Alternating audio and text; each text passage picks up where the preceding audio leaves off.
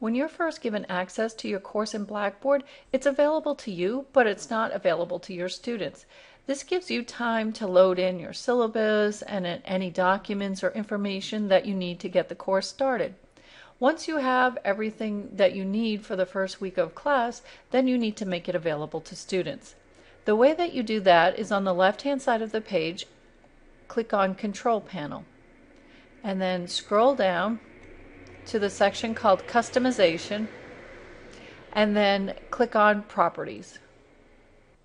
When the new window appears, I'll just scroll down and we're looking for the section called Set Availability. And where it says Make Course Available, I'm going to click on the button right next to Yes. And then I am going to click on the Submit button. And it tells me that the properties have been updated and it is available to students now. If you have any questions, just give us a call at the Office of Academic Technology or drop us an email.